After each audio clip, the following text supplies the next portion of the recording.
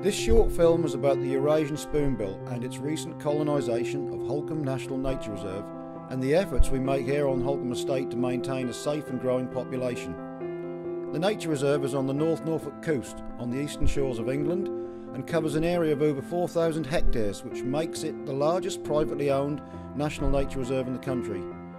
In the past, it has been known for attracting tens of thousands of wintering wildfowl and good numbers of breeding waders.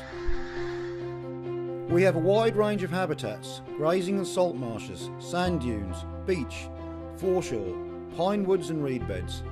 The attractiveness to spoonbills is obvious. We have a vast juxtaposition of wetlands in a protected, mostly undisturbed environment.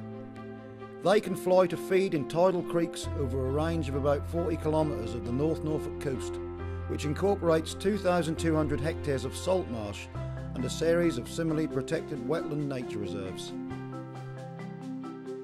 We have become a very important place nationally as spoonbills became extinct as a UK nesting bird between the late 1600s and the late 1990s due to persecution and habitat loss.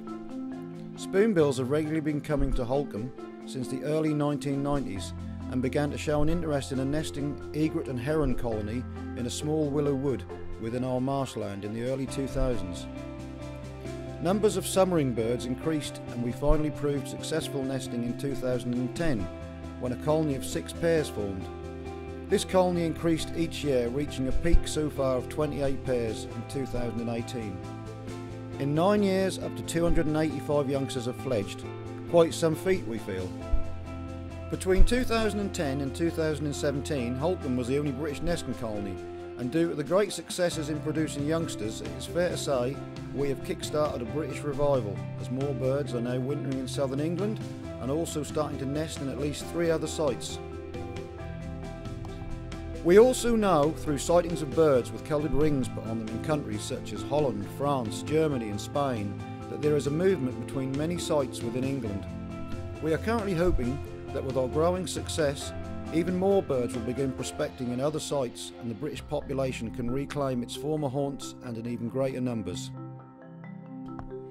In regards to what we do at Holkham, we maintain water levels at and around the nesting sites.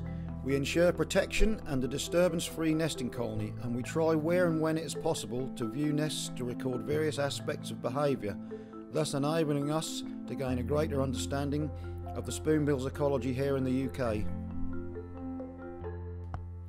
One of the things we are currently in the process of doing is creating more nesting habitat.